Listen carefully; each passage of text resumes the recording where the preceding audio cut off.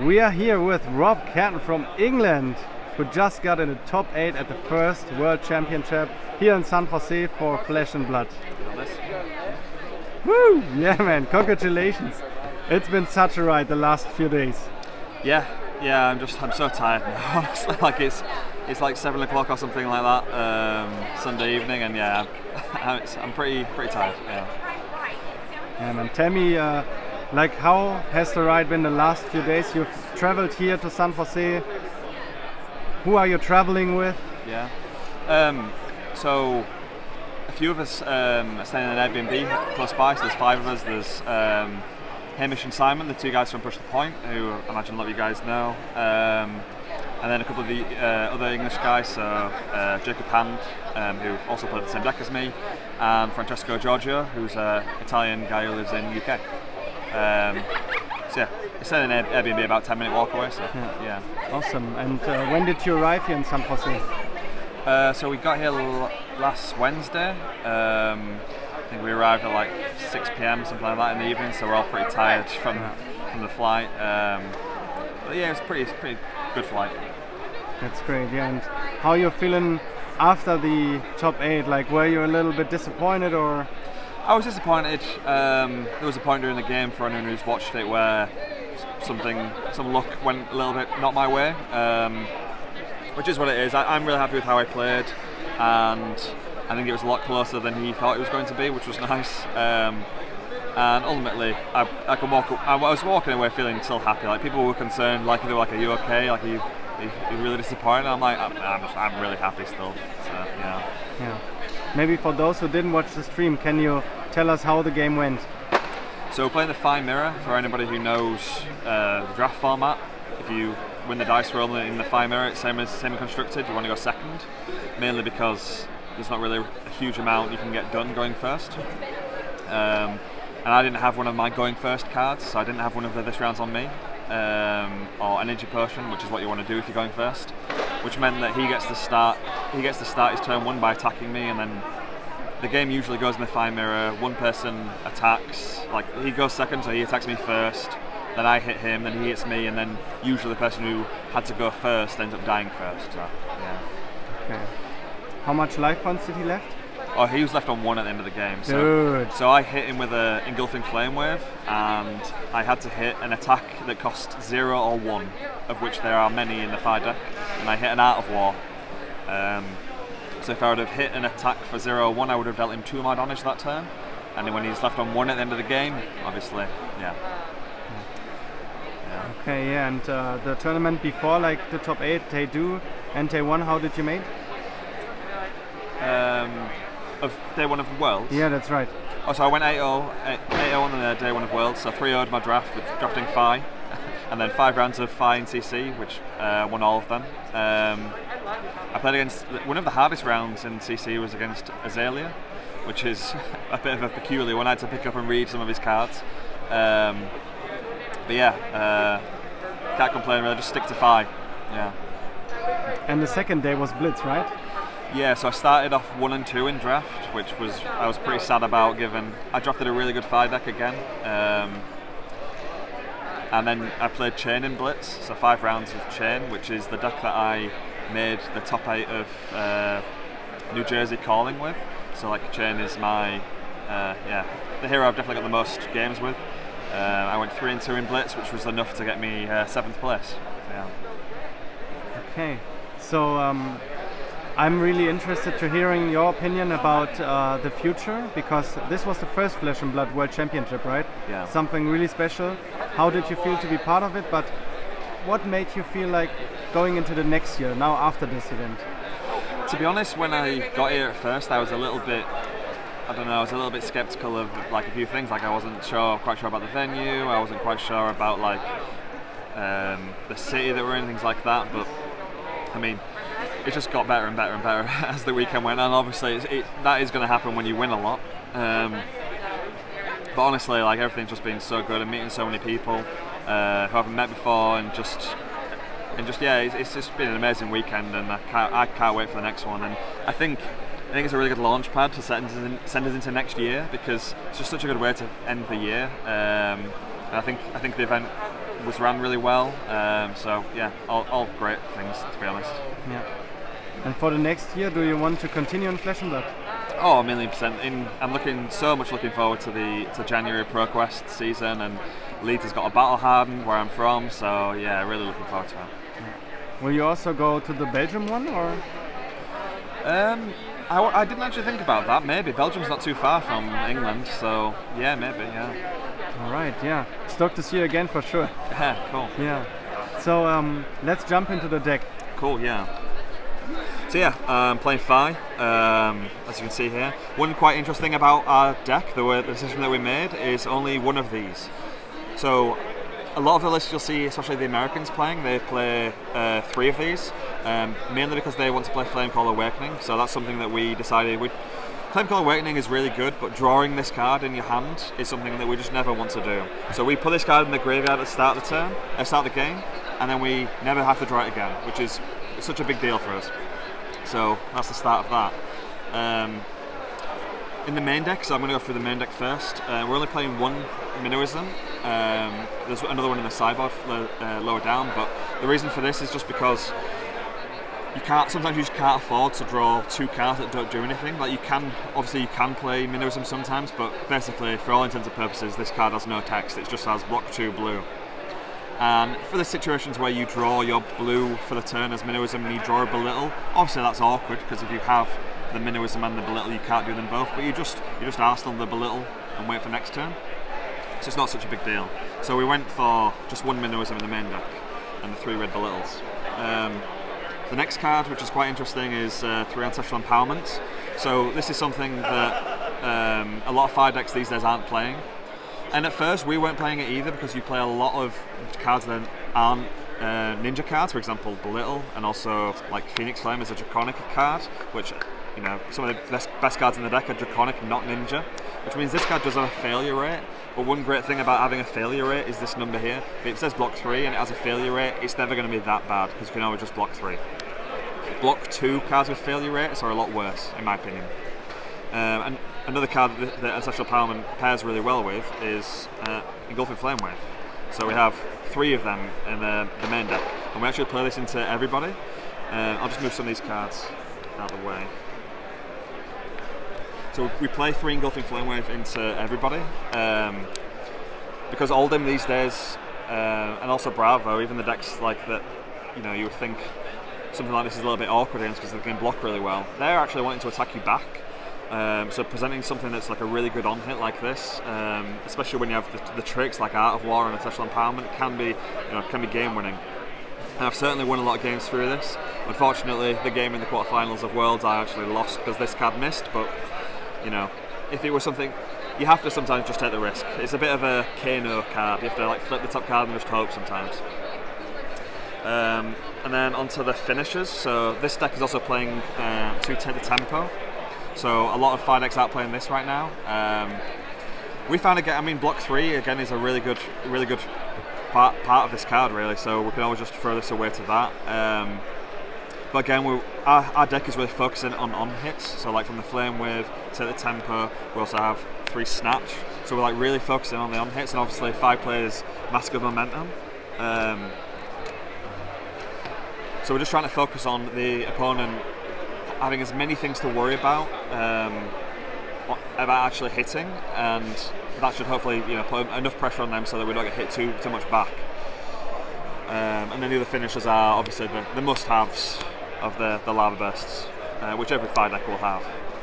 Um, moving on to the rest of the deck, so again these are a lot of cards that every fire deck will have, so like three Rising Resentment, three Spreading Flames, three Red mounting Angers, three Ronin Renegades. These are all cards that the fire deck will always play. Four, three Blaze Headlong, three Brand of Cinderclaw, just as many of these as you actually can. And when we get to the sideboard, I will show you that we would actually play more of these if we could. So more of like, if we could play three more Ronin Renegade, we would do in an instant. Because um, there actually is a few slots in the deck missing, like we just want three more Draconic like starters um, and they need to be cheap. So you can't we, we can't really put in cards like um, we can't really put in cards like Soaring Strike. They're one for four go again because we need it to be cheap. And like the zero cost ones, when you start getting to when you put all these cards in, you start getting to like Lava Vein Loyalty Red or like actual normal head jab, and they have like their downsides. So yeah, uh, go through. So those are all the cards that every Fai deck plays. And again, three Art of War. Every Fai deck will be playing this. Um, and yeah, not much to say about what really everybody knows how good this card is, and it's in- integral to the deck. Like a really good, a really big part of it is um, saving this for your five card turns. So if you can arsenal an Art of War, so that next turn you have a full card, full hand of four cards. Um, the card just works better when you have as many cards available to you as possible. Uh, then we're moving on to the blues. So the blues are actually quite, um, again, quite different to some of the other Fai lists that you'll be seeing. We were playing two blue Mounting Anger. So we wanted a starter. Um, as in, when I say starter, I mean a Go Again Draconic card, which will enable like Searing Emberblade and so on. So we wanted a starter which um, isn't quite as meek as like Brand with Cinderclaw, because coming in for one is often quite ignorable. Whereas Mounting Anger Blue, um, it comes in for two, which obviously is one more, and the on hit gets you a point of damage. So this, a blue one will be often one for three damage. So we wanted some, we wanted that just to pump the numbers up a little bit. Um, we're also playing more blues than other finalists, so we're playing I think a total of 15 blues in the main deck, and we can board up to like 17 in Iyslander matchups, um, which I think is a, a yeah very different different take. So those are the starters. We only play five blue starters, and then for the rest of the blues, we went for a lot of block threes. Uh, so we've got three Lava Vein Loyalty, three Soul Bead Strike, three Skin Devotion.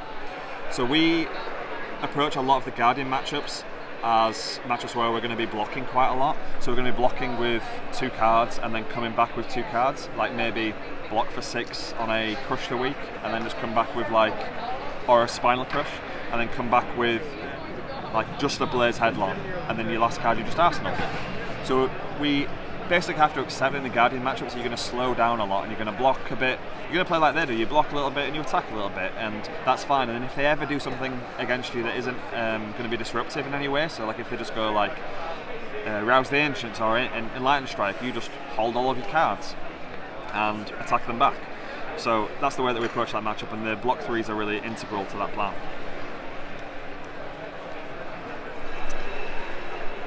And then we're on to the sideboard. So the main deck is actually, including the Phoenix Flame, is uh, 56 car- uh, 54 cards, uh, which means that we need to board in six cards in every matchup. Um, and there are some match most there are some matchups where we board out a few cards as well, as in we board some out and you make some swaps. But six cards in every matchup is the way that we approached it. Um, and we got that by using a spreadsheet basically just I don't know if anybody else does that but we yeah we do a lot of spreadsheet work to try and like figure out the numbers of um, like what look what we try to look at like what's the ideal deck list into Oldhim look like? What does the ideal deck list into Fire look like? What does the ideal deck into Iyslander looks like? And then from that we get a good understanding of like how the main deck looks and how the sideboard needs to look. So the sideboard is like little packages of three uh, three or six. So this first little package, two uh, yellow blotters and a minnowism. This is for uh, Iyslander basically. So I'm pretty sure we only bought this in against the Wizards. Um, Iyslander, obviously, we want the extra belittles to pay for the frostbites, hence we need the extra blue minnowism. But we also do this against Kano just because we want to have more resources um, floating so we can arcane barrier. Um, then we have like a package of six, so this is how we sideboard against like the aggro decks. So two double strike, two lava in loyalty, and two that all you got. So these are sort of just like filler cards because we need just some random little attacks. Um, and the that all you got's like they come in against Runeblade to block the Zetathorn, uh, but also really useful against Ninja. Um, yeah, these are just filler. So these things could end up being something better. I'm not entirely sure if like we should just play like three head jab because uh, the Loyalty is like if you have an awkward hand and you don't have Go again, it's probably because you've got Lava Vein Loyalty in your hand and yeah, so I'm not a huge fan of this card, but Double Striker has been fine this weekend. Um, the rest of the cards are sideboard, so we've got three um, going first cards, so two this round's on main energy potion. So we, we sideboard these in when we're going first against Fai specifically, or uh, Katsu I suppose, so just Ninja. Um, and we take out three Cinderskin Devotion uh, for these in, in replacement. So the, the general plan with this is just to get something accomplished on turn one uh, because we're probably not going to be attacking. Uh, we also sideboard the energy potion when we go first against Oldhim, and we sideboard this in against Iyslander as well. Uh, just having a, an energy potion in play against Oldhim or Iyslander to protect you from Ice React or Stalagmite is, is a big, or Blizzard is a big deal. Um, then this is my favourite part of the sideboard to be honest. So we have three Below and three Enlightened Strike. So when I was talking earlier about our planning to um, Guardian, about like playing a more of a blocking game and a, and a two card playing off two card hands better. So this is where Enlightened Strike comes in. So a two card hand like block with two of our blues or a blue and a Sink Below, and then you come back with an Enlightened Strike for seven. Like they can't ice react you because you've got no cards. They can't blizzard you because you don't have go again. Um, they just have to deal with seven, and it's really good if you get spinal crushed as well. So if you get spinal crushed, you lose go again. You just go, okay, I'll just block a little bit, and I'll attack you once for seven.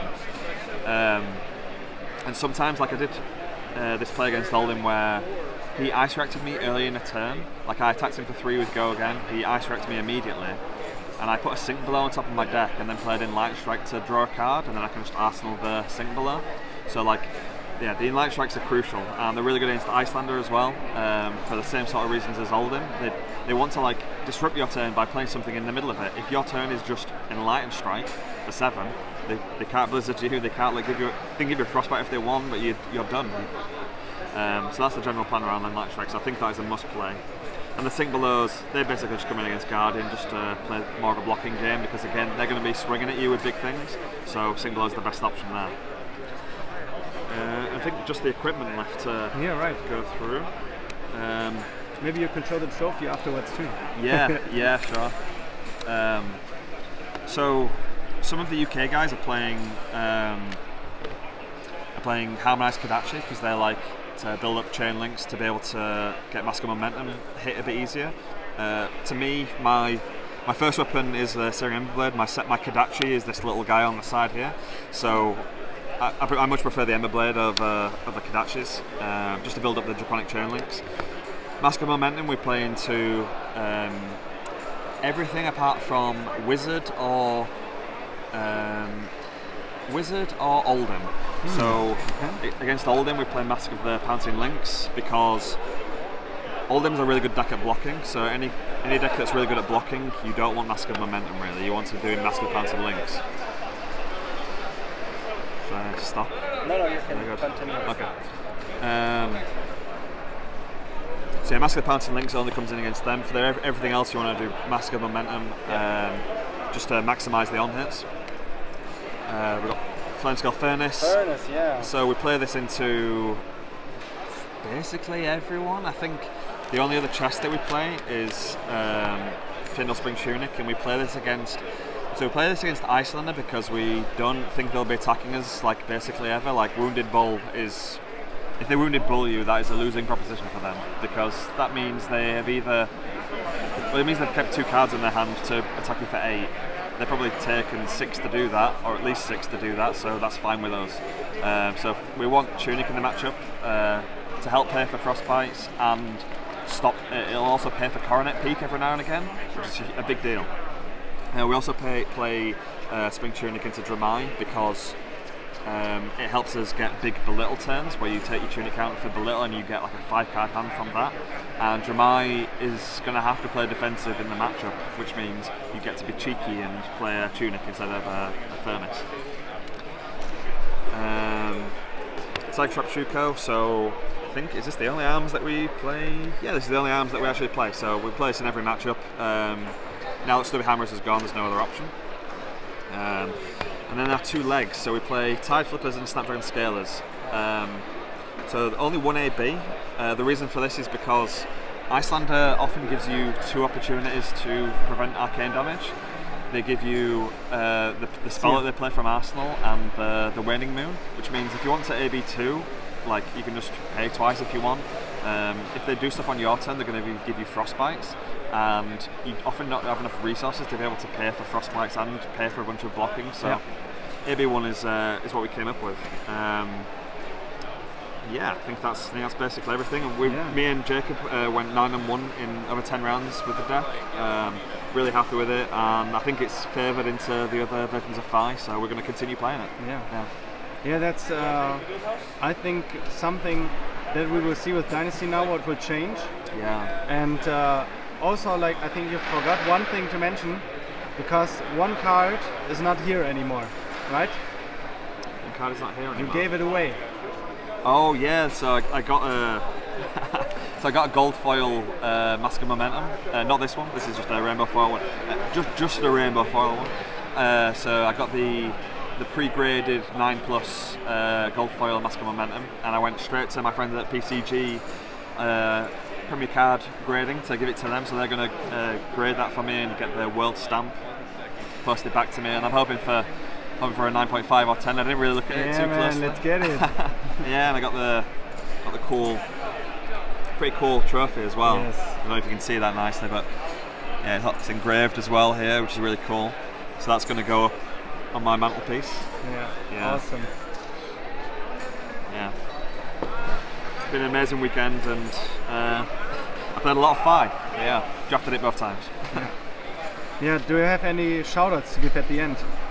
Yeah, so uh, I guess I can shout out uh, Jacob Bean's Hand. So he was my main uh, testing partner. Uh, Mad Dog Matt Duggan uh, and Chimpers James Thurgood as well. So they're my three friends that I uh, tested for this event, and yeah, there's my shout out. Awesome, man. Thank you so much for giving me this deck profile and letting the world know what you think about it. awesome, thank you.